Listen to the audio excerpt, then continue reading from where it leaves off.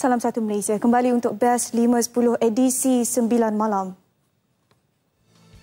Memandangkan kes denggi yang semakin buruk, dua langkah baru diperkenal Kementerian Kesihatan sebagai langkah pencegahan. Projek Perintis Teknik Baru Semburan atau Outdoor Residual Spray ORS sudah dimulakan di empat lokasi panas iaitu di Selangor, Petaling, Hulu Langat, Gombak dan Kelang sejak 11 Februari lalu.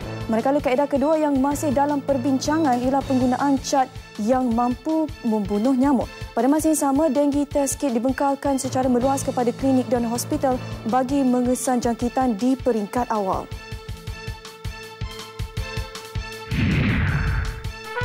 Penduduk di Sandakan, Kinabatangan, Lahad Datu, Kunak dan Sempurna panik seketika apabila merasai gegaran kuat. Ia ekoran gempa bumi sederhana pada 5.6 skala Richter yang berlaku di Laut Sulu, Filipina.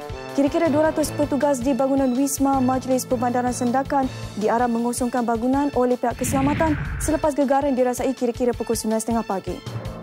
Jalan pintas untuk ke syurga melalui jihad seks merupakan antara modus operandi propaganda IS dalam mempengaruhi remaja wanita. Demikian didedahkan fellow Yayasan Dakwah Islamia Yadim Nasaruddin Mat Isa. Salah faham mengenai konsep jihad ini mudah tersebar dan diterima terutama melalui media sosial.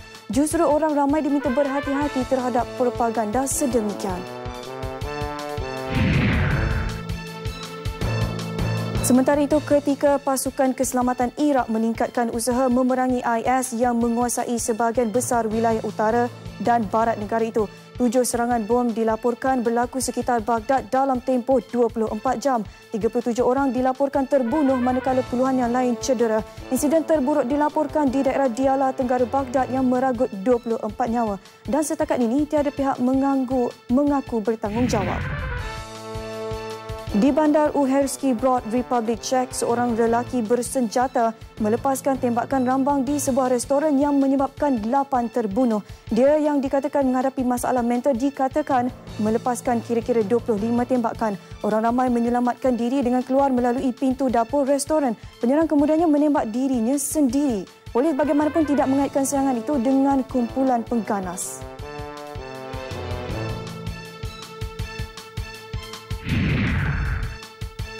Berikutan meningkatnya ancaman cyber, Jabatan Negara Amerika dan FBI semalam mengumumkan tawaran tertinggi bernilai 3 juta dolar. Tawaran itu bagi penangkapan seorang rakyat Rusia, Yevgeny Bogashev, yang didakwa atas pelbagai dakwaan termasuk konspirasi, menggodam komputer dan pengubahan wang haram. Dia juga menghadapi dakwaan konspirasi penipuan bank pusat di Omaha, Nebraska. FBI sudah mengenal pasti 60 kumpulan cyber yang mempunyai kaitan dengan negara luar. Di Kanada, sebuah terowong misteri bawah tanah ditemui dekat University York di Toronto.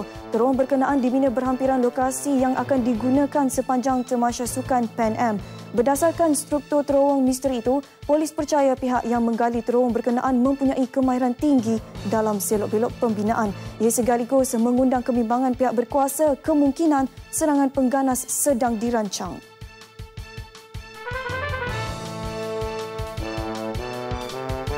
Sekian Best 510 edisi 25 Februari. Ikuti Dunia Jam 10 bersama Farid Ismail Imir untuk lagi perkembangan berita luar negara. Saya Syuhaida Arifin. Assalamualaikum dan salam satu Malaysia.